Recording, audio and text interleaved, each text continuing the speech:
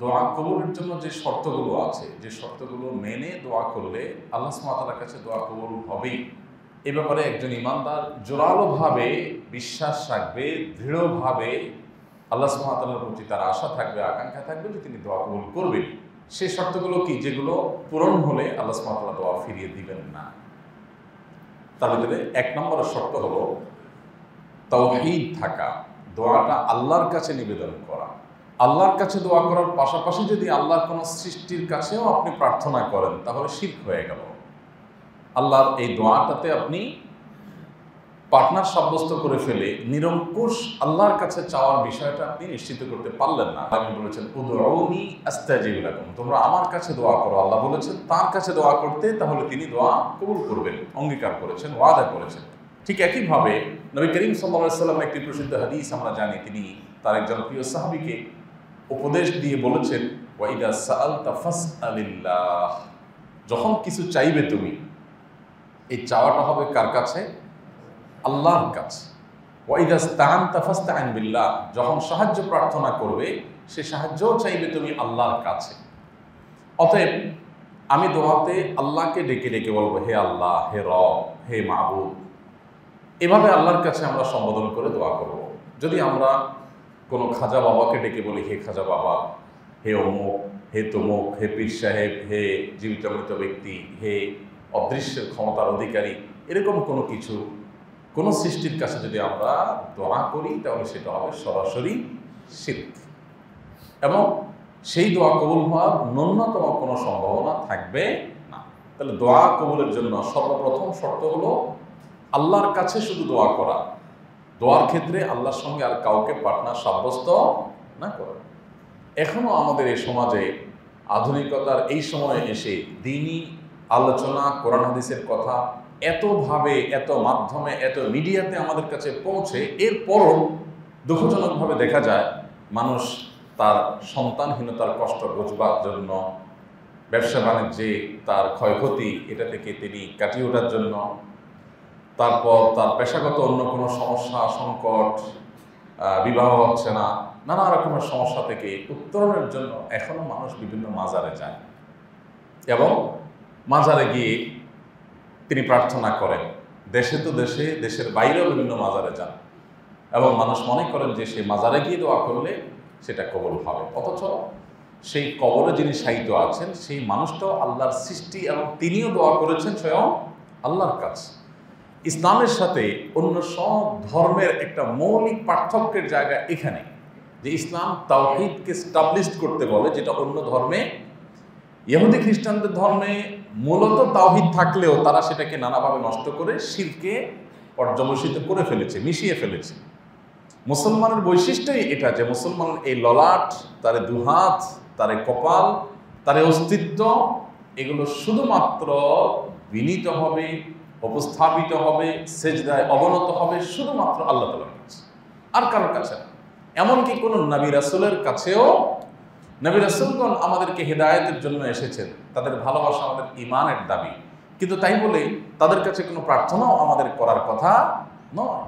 এই জন্য দোয়া কবুলের জন্য প্রধান শর্ত হলো, নিরঙ্কুশ শুধু আল্লাহর কাছে চাওয়া এবং এই বিশ্বাস শাখা যে আল্লাহই একমাত্র সমাধান করতে পারেন। কোনো ভায়া, কোনো মিডিয়া কোনো পীর, জীবিত মৃতে কোনো ব্যক্তি, তিনি আল্লাহর কোনো এজেন্সি নেন নাই যে তার কাছে বললে তিনি আল্লাহর কাছ থেকে এটা পাইয়ে দিবেন। এটাই যদি হয়, তাহলে হিন্দু ধর্মাবলম্বীদের বিশ্বাস আর আমাদের বিশ্বাসে কোনো পার্থক্য থাকবে না।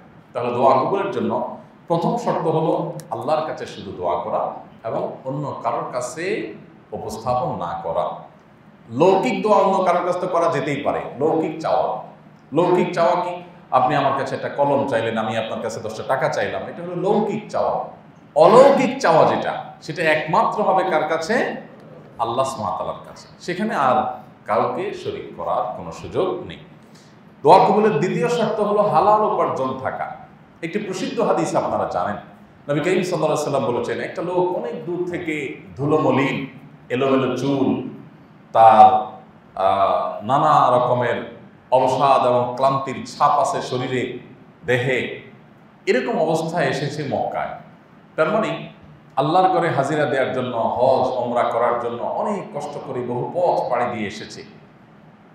এই লোকটা এত কষ্ট করে, এত ত্যাগ করে আসার পর যখন বাইতুল্লার চারপাশে তোয়াফ করতে করতে দুহাত তুলে আল্লাহর কাছে তিনি দোয়া করতে থাকেন, তার দোয়ায় তার দোয়ায় যে আন্তরিকতা সেটা পরিষ্কার তিনি যে পরিশ্রম করে এসেছেন তার ত্যাগ, সেটা পরিষ্কার এবং দোয়া কবুলের মতো একটা জায়গায় দোয়া করছেন, সেটাও দিনের আলোর মতো পরিষ্কার। নবী করিম সাল্লাম বলেছেন, অবাক করা বিষয় হলো নবীর ইসলাম আলোকে বুঝতে পারি আমরা যে এই লোকের দোয়া কবুল হওয়ার কোনো সম্ভাবনাই নেই। কারণ একটাই, যে তিনি তার যে দেহ গঠন করেছেন, তার যে সম্পদ গড়ে তুলেছেন, তার যে পোশাক আশাক শরীরের, এগুলো হারাম দ্বারা গঠিত।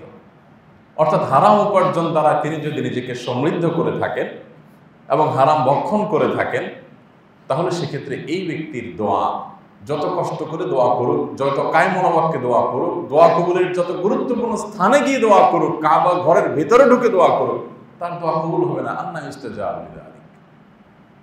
এই জন্য দোয়া কবুলের অত্যন্ত বড় এবং অন্যতম প্রধান একটা শর্ত হলো হালাল উপার্জন থাকা।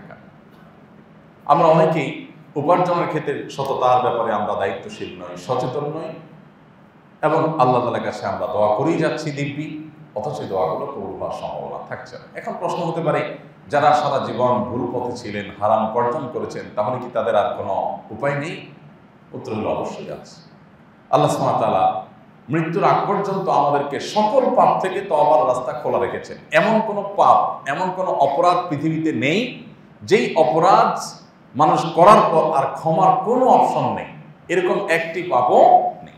সমস্ত অপরাধ মৃত্যুর আগ পর্যন্ত ক্ষমার সুযোগ, সম্ভাবনা থাকে। অতএব মানুষের হক নষ্ট করেছি, আর্থিক অনিয়ম করেছি, দুর্নীতি করেছি, অপরাধ করেছি, অসঙ্গত উপায়ে, অবৈধ, হারাম উপায়ে উপার্জন করেছি, এখন কাজ হলো তবা করা।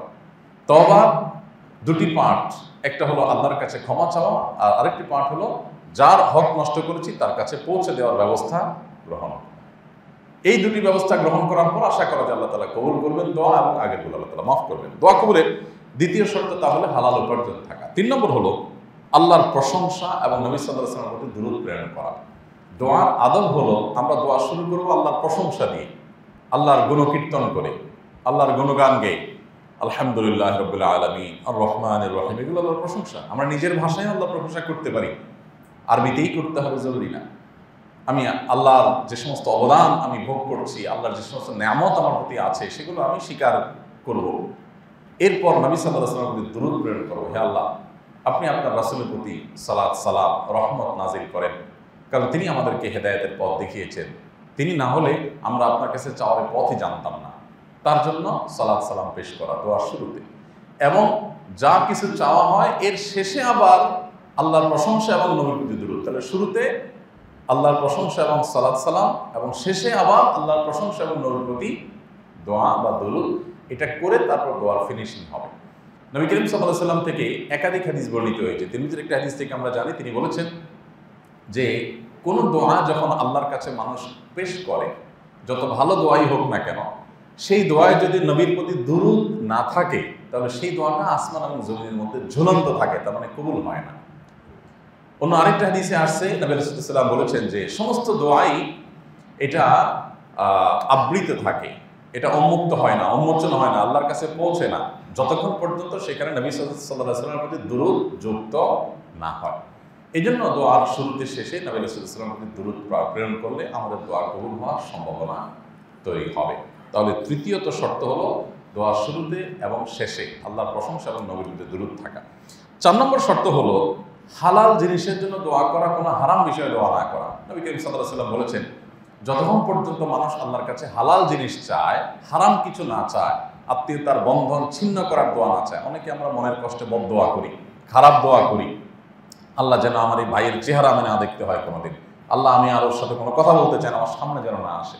তো এগুলো হলো আত্মীয়তার সম্পর্ক ছিন্ন করার দোয়া, অথবা কোনো অবৈধ দোয়া। অনেক যুবক আছে যে হারাম সম্পর্ক, হারাম রিলেশন করেছে। জেনার সম্পর্কের সাথে জড়িত আছে। দোয়া করার জন্য মরিয়া হয়ে থাকে। কতভাবে দোয়া করা যায়, কীভাবে তার এই লক্ষ্য পূরণ হতে পারে, সেজন্য সে দোয়া করে। তো এই দোয়া আল্লাহ সুমাতার কাছে কবুল হওয়ার সম্ভাবনা একেবারে ক্ষীণ। বরং এই হারাম জিনিসের দোয়া করার মাধ্যমে আরেকটা অপরাধ তিনি করলেন। আপনি ব্যাপারটা এমন হলো যে আমার কাছে আপনি আবেদন করলেন, ভাই, আপনি যদি মনে কিছু না করেন আমি একটু আপনাকে একটা ঘুষি দিতে চাই। ব্যাপারটা কেমন হবে? আপনি আমাকে বললেন, ভাই, আপনাকে আমি একটা চর দিতে চাই, আমার খুব ইচ্ছা হচ্ছে। যদি আপনি if you permit me sorry যদি আমাকে একটু অনুমতি দিতেন আমার তো মন চাইতেছে। ব্যাপারটা কেমন হবে? আপনার এই চাওয়া পূরণ হওয়া তো দূরের কথা। এই চাওয়ার কারণে আপনি যে অভদ্রতা দেখিয়েছেন, আপনি যে স্পর্ধা দেখিয়েছেন, সেজন্য আপনি আরও রোশনলে পড়বেন। এটাই তো স্বাভাবিক। তো আল্লাহর কাছে আপনি দোয়া করতেছেন, আল্লাহ আমি একটা হারাম সম্পর্ক করছি, অবৈধ সম্পর্ক করছি, আল্লাহ আমি যেন সাকসেস হই। ব্যাপারটা কেমন হবে? তো এই জন্য হারাম জিনিসের দোয়া, এটা আল্লাহর কাছে কবুল হয় না। দোয়া করতে হলে কবুল হওয়ার ক্ষেত্রে দেখতে হয় যে, আমি যে দোয়া করছি সেটা হালাল কিনা এবং বৈধ কিনা, কোনো অন্যায় কাজের দোয়া কিনা। কোনো অন্যায় কাজের দোয়া আল্লাহ তালার কাছে করলে সেটা কবুল হবে না। পাঁচ নম্বর হলো, যে আমরা যখন দোয়া করব আল্লাহ তালার কাছে, তখন সেটা হবে অন্তর যেন দোয়ায় মনোযোগী থাকে সেভাবে। আমাদের অন্তর যেন অন্যদিকে না থাকে অন্য মনস্ক না থাকে। অন্য মনস্ক মানুষের দোয়া আল্লাহ তালা কবুল করে না নবী সাল্লাহ সাল্লাম বলেছেন যে তালবিল্লাহি যে অন্তর উদাস, হাত তুলে দোয়া করছে, মুখে জ্বলছে, কিন্তু তার অন্তরে অন্য অন্য চিন্তা। আল্লাহর প্রতি তার মনোযোগ নেই। এই দোয়া আল্লাহ তালা কবুল করবেন না।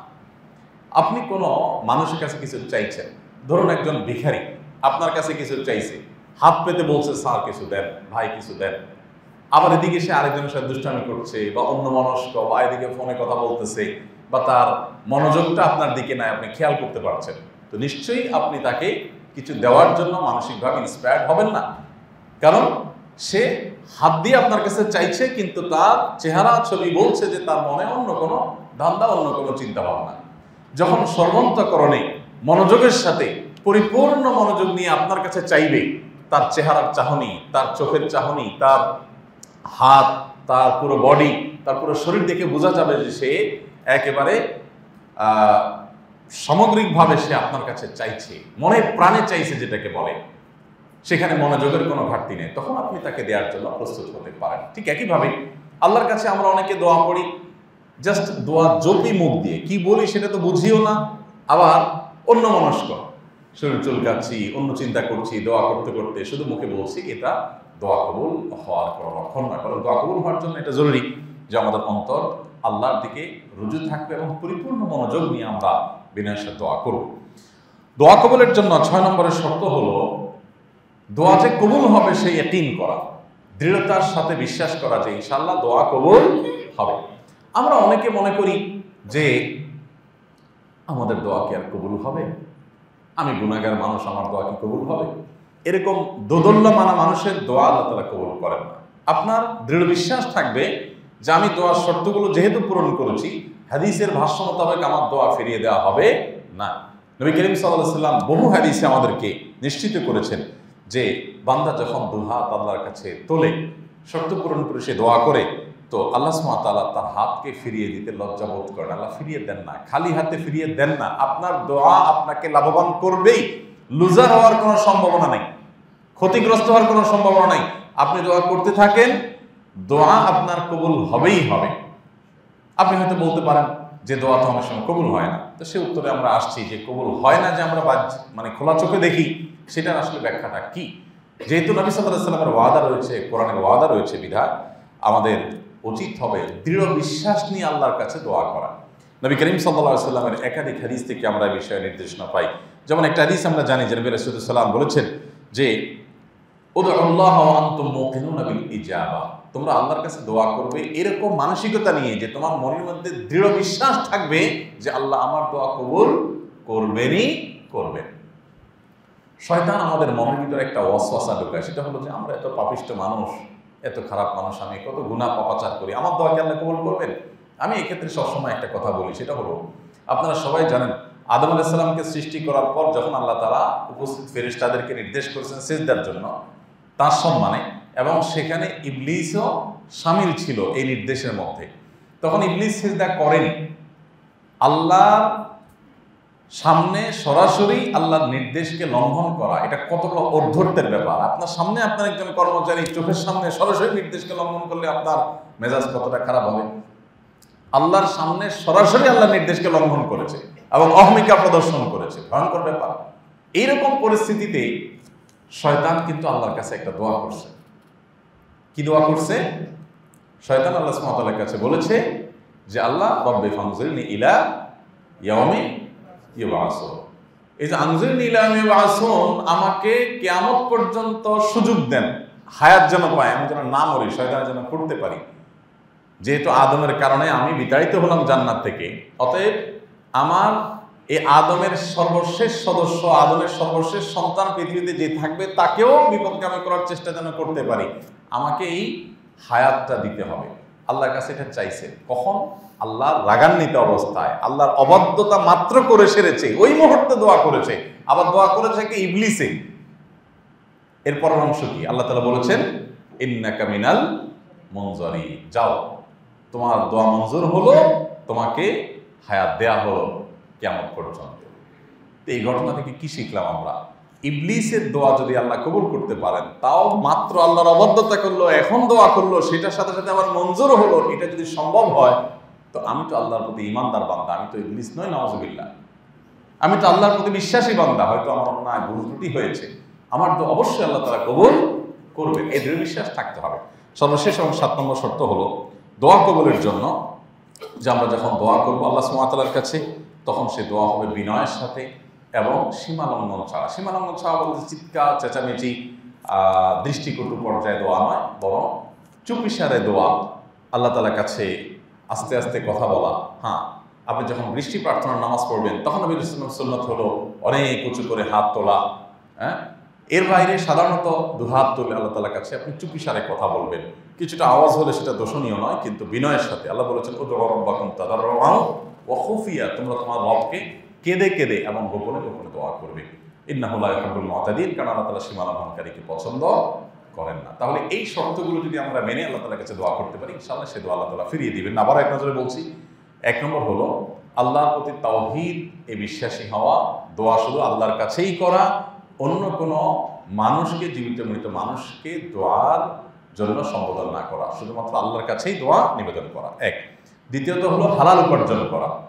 হারাম বক্ষণকারী ব্যক্তি দোয়া কবুল হয় না। তৃতীয়ত হলো, দোয়ার শুরুতে এবং শেষে আল্লাহর প্রশংসা এবং দূরত থাকা। চতুর্থ হলো, আল্লাহর কাছে কোনো অবৈধ, হারাম, অন্যায় জিনিস না চাওয়া। সেক্ষেত্রে দোয়া কবুল হওয়ার সম্ভাবনা থাকবে। আর পাঁচ নম্বর হলো, আমরা যখন দোয়া করব, তখন পরিপূর্ণ মনোযোগ আল্লাহর প্রতি থাকবে। অন্য মনস্ক হয়ে দোয়া করলে সে দোয়া কবুল হবে না। এবং ছয় নম্বর হলো, দোয়া করছি, এই দোয়া আল্লাহ কবুল করবেন, সে বিশ্বাস দৃঢ়ভাবে আল্লাহর প্রতি রাখা। এবং সর্বশেষ ছয় নম্বর হলো কেঁদে কেঁদে বিনয়ের সাথে বিনয় অবনত হয়ে এবং চুপির সাথে আল্লাহ তালার কাছে দোয়া করা। এই সাতটি বিষয় লক্ষ্য করলে ইনশাআল্লাহ আল্লাহ তালা আমাদেরকে দোয়া ফিরিয়ে দিবেন না। এরপরে সর্বশেষ পয়েন্ট হলো যেটা বলছিলাম যে আমরা অনেক সময় সব শর্ত পূরণ করে দোয়া করি তারপরে দোয়া কবুল হয় না। এর কারণ কি? এর উত্তর হলো যে দোয়া কবুলের তিনটি স্তর আছে। নবী করিম সাল্লাহ সাল্লাম বলেছেন, কখনো কখনো মানুষ যা চায় তৎক্ষণাৎ তা দিয়ে দেওয়া হয়। এটা হলো একটা অপশন। দোয়া কবুলের আরেকটা ফরমট হলো, মানুষ চেয়েছে আল্লাহর কাছে একটা জিনিস দুনিয়াতে, আল্লাহ সেটা দিল না। একজনের সন্তান হয় না। এত দোয়া করে, এতভাবে দোয়া করে, মক্কা যায়, মদিনা যায়, নামাজের পরে ভোর রাতে বিভিন্নভাবে। বাট দোয়া কবুল হচ্ছে না। তো, আল্লাহ রাব্বুল আলমিন এই ব্যক্তিকে এই কাঙ্ক্ষিত জিনিসটা না দিয়ে তার জন্য আখেরাতে বিনিময় রেখে দিবেন। এবং সেই বিনিময় যখন পাবে সে, তখন তার কাছে মনে হবে যে আমার দুনিয়াতে আরও যে দোয়াগুলো কবুল হয়েছে, সেগুলোও যদি কবুল না হতো, এটা আমার জন্য বেস্ট হতো। কারণ সেই চাওয়া পূরণ হওয়াটা সীমিত সময়ের জন্য, আর এটা অনন্তকালের জন্য হতো। কখনো কখনো আল্লাহ তালা বান্দার জন্য দোয়ার কাঙ্ক্ষিত বিষয় না দিয়ে তার চেয়ে বেটার জিনিস রেখে দেন। আর দোয়া কবুলের আরেকটা উপায় হলো, আল্লাহ দোয়া কবুল করেন, কিন্তু সেটার প্রক্রিয়া হলো যা চেয়েছে তা না দিয়ে তার কোনো অকল্যাণ থাকে তাকে রক্ষা করেন। দেখুন, আমাদের জীবনে বহু বিপদ আসে। যে বিপদ থেকে বাঁচার জন্য আমরা আল্লাহর কাছে অ্যাপ্লিকেশন করি নাই। হয় না অনেক সময়? যে একদম চোখের পাশ দিয়ে একটা কিছু চলে গেছে। আর দুই ইঞ্চি এদিকে আসলে আমার চোখটা শেষ হয়ে যেত। গাড়িটা মাত্র এক হাত দূর দিয়ে চলে গেছে। আর অল্পের জন্য আমি নিচে পিষ্ট হয়ে যাই না। হয় না এরকম? আমি কি আল্লাহর কাছে দোয়া করছি, আল্লাহ, ওই যে গাড়িটা আসতেছে, আমি যেটা নিচে না পড়ি। দোয়া তো করিনি উইদাউট অ্যাপ্লিকেশন আল্লাহ সুমাতাল আমাদের প্রতি অনেক সময় অনেক বিপদ থেকে আমাদেরকে রহম করেন। এগুলো কখন হয়ে থাকে? অনেক দোয়া আমি করেছি। আল্লাহ কাছে আমি চেয়েছি, আল্লাহ এই জিনিসটা দেন। হয়তো আমার এর চেয়েতে বড় বিপদ আসছে, আমি জানি না। তো আল্লাহ তালা আমার এই দোয়াটা কবল না করে ওইটা থেকে অনেক সময় হেফাজত করেন। খোলাসা কথা হলো, বান্দার দোয়া, এটা কখনো তার জন্য ক্ষতির কোনো কারণ হওয়ার কোনো সম্ভাবনা নাই। দোয়া তার কল্যাণই কল্যাণ বয়ে আনে। কিছুই যদি না হয়, শুধু দোয়া করাটাই ইটসেলফ একটা ইবাদত। দোয়া করাটাই একটা সত্যাগতভাবে একটা ইবাদত। এই জন্য দোয়া করতে আমাদের কখনো কার্পণ্য করা উচিত নয়। নবী করিম সাল্লাহ সাল্লাম বলেছেন, বান্দা দোয়া আল্লাহ কবুল করে, যতক্ষণ পর্যন্ত সে তাড়াহুড়ো না করে। সাবেরা জিজ্ঞেস করুন তাড়াহুড়ো কি? নবীজি বলেছেন, তাড়াহুড়ো হলো দোয়া করার পর কবুল হচ্ছে না কেন? কবুল হচ্ছে না কেন? এই জন্য অস্থির হয়ে যায়, ব্যাকুল হয়ে যায়। এবং একটা পর্যায়ে সে দোয়া ছেড়ে দেয়, না, অনেক করছি, হলো না। এই জন্য আমাদের কাজ হলো দোয়া অব্যাহতভাবে করতে থাকা করতে থাকা, আমার কাঙ্ক্ষিত জিনিস আজ হোক, দুদিন পরে হোক, হয়তো আমি পাবো। হয়তো আমি যা চাচ্ছি তার চেয়ে গুরুত্বপূর্ণ বিষয় আমার চাওয়া আছে। আমরা তো আসলে ত্রিকালদর্শী না। আমরা তো ভবিষ্যৎ জানি না। আমরা আমাদের চোখের সামনে দেখছি, এই মুহূর্তে আমার চাকরিটা দরকার, এই মুহূর্তে বাচ্চাটা হওয়া দরকার, এই মুহূর্তে ব্যবসা উন্নতি দরকার, এই মুহূর্তে ওই বিপদ থেকে উদ্ধার হওয়া দরকার। যেটুকু আমার খোলা চোখে দেখি, সেটুকু আল্লাহ কাছে চাই। আমার জানার বাইরে আমার দৃষ্টির সীমার বাইরে আমার অনেক বিষয় আছে যেগুলো আমি জানি না। যদি জানতাম তাহলে সেগুলোকে আরও বেশি প্রায়োরিটি দিয়ে আল্লাহ কাছে চাইতাম। সেজন্য আমার চাও আমি পেশ করব, আল্লাহ সুমাতালা আমার দোয়ার কারণে যা প্রয়োজন সেটাই আমার জন্য দিবেন। এই জন্য ভাইরা দোয়া করতে কখনো কার্পণ্য, কখনো অলসতা, কখনো অবসাদ যেন আমাদের না আসে। এটাকে অনবরত করতে থাকা উচিত। বাংলাদেশের প্রেক্ষিতে আমরা ম্যাক্সিমাম মানুষ দোয়ার সমস্ত কন্ট্রাক্টারই এটা আমরা হুজুরদের হাতে তুলে দিই। এবং আমাদের ছেলে হয়েছে, ছেলে হওয়ার আগে মুসলমানি তারপর বিল্ডিং করব ফ্ল্যাটে উঠব হ্যাঁ? মারা, মা বাবা মা মারা গেছে, তাদের জন্য দোয়া করব, নতুন গাড়ি কিনেছি। যত আইটেম আছে দোয়ার সমস্ত আইটেমগুলো আমরা হুজুরদের কাছে এনে হাজির করি। হাজির করি বলে হুজুর একটু দোয়া করে দিয়ে। তো এতে হুজুরদেরও লাভ কারণ আপনারা দুনিয়াবি দোয়া করলে একটু পয়সা করে দিবেন, হাদিয়া তোফা দিবেন হ্যাঁ? একটু তবরক, মিষ্টি মুষ্টি দিবেন। খাওয়ান দাওয়ান হবে, ভালোই। আয় রোজগার হবে। আর আপনারা চিন্তা করেন যে আমি গুণাগার মানুষ, আমার দোয়া কবুল হয় না হয়? আর আল্লাহ তালার কাছে যে সুন্দর করে হুজুর বলতে পারে, আমি তো এত সুন্দর করে বলতে পারি না। তো এই কারণে আমরা অনেকে দোয়া করি না। এটা ভুল। আল্লাহ তালার কাছে কোনো মায়ের প্যাচের কথা দোয়া কবুলের জন্য যে আপনারা সাতটা শর্ত শুনলেন। একটা শর্ত কি এরকম দেখেছেন? যে হাদিসে কোরআনে কোথাও বলা হয়েছে যে আল্লাহর কাছে সাজিয়ে গুছিয়ে না বলতে পারলে কিন্তু আল্লাহ কবুল করবেন না। এমন কোনো কথা শুনছেন কোনোদিন? দুনিয়ার মানুষের কাছে এগুলো হতে পারে। আল্লাহ তালার কাছে এগুলো নাই। একজন মানুষ বোবা, তার বাকশক্তিই নেই। তার দোয়া আল্লাহ তালা কবুল করবেন। শুধু মনের আকুতি এটাই দোয়া। দোয়ার মূল জিনিসটা হলো মনের আকুতিটা। আপনি মুখে খুব মার প্যাচের ভাষা দিয়ে, খুব সাহিত্যপূর্ণ ভাষা দিয়ে, অলঙ্কারপূর্ণ ভাষা দিয়ে, চমৎকার শুদ্ধ ভাষায় আপনি কথা বললেন, এটা দোয়া কবুলের জন্য কোনো শর্ত নয়। শয়তান আপনাকে দোয়া থেকে দূরে সরিয়ে রাখছে এবং দোয়াগুলো সব হুজুর নির্ভর করে ফেলছে শয়তান আপনাকে মাহরুম বঞ্চিত করছে। এই জন্য আল্লাহ তালার কাছে আমরা যখনই সুযোগ পাবো দোয়া করব। দোয়ার জন্য অজুরও প্রয়োজন হয় না। অজুরও প্রয়োজন হয় না, বিনা অজুতে দোয়া করা যায়। কেন? কারণ দোয়া এমন একটা বিষয় যে প্রতি পদে পদে করার দরকার হবে। এই জন্য অজুর শর্ত দেওয়া হয় না। অজুর শর্ত দিলে তো আপনি সবসময় করতে পারতেন না। আল্লাহ তালা এটাকে ওপেন করে রেখেছেন যাতে সবসময় আপনি করতে পারেন। নবী করিম সাল্লাহ সাল্লাম বলেছেন, এমন কি? কারোর জুতার ফিতাটা ছিঁড়ে গেছে।